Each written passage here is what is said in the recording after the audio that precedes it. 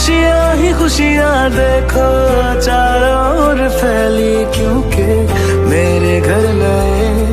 मेहमान आ रहे हैं खुशियाँ ही खुशियाँ